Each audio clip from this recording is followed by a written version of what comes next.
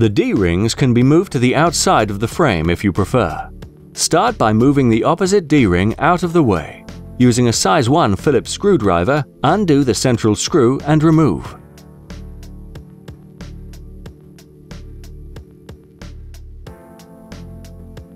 Place the short cap inside the D-ring.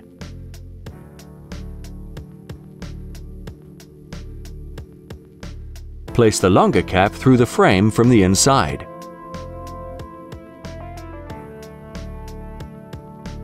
Slide the two together and insert the screw. Screw them back together. Be careful not to over-tighten.